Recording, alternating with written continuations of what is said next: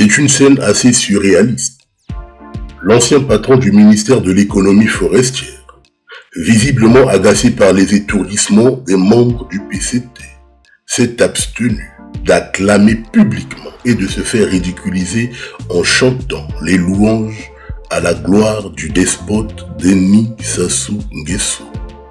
Une scène, une image qui vaut mieux que mille mots.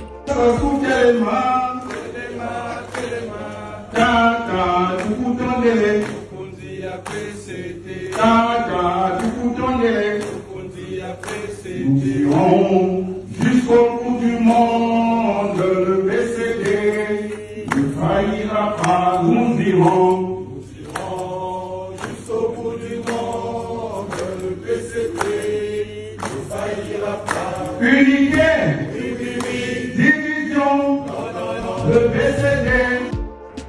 Henri Zombo, qui a été chassé du gouvernement par le despote Denis Sassou Nguesso bien qu'étant affaibli par le poids de l'âge, n'a rien lâché de ses convictions intimes et publiques.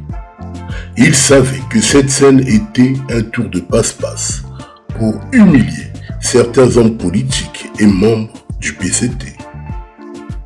Chanter pour la gloire d'un homme, d'un mortel. Chanter les louanges d'un homme qui a tout échoué. C'est une grossièreté insoutenable.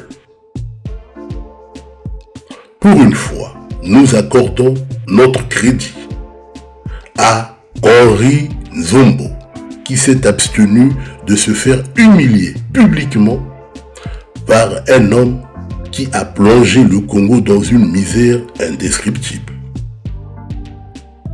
Denis Sassou Nguesso, ange ou démon.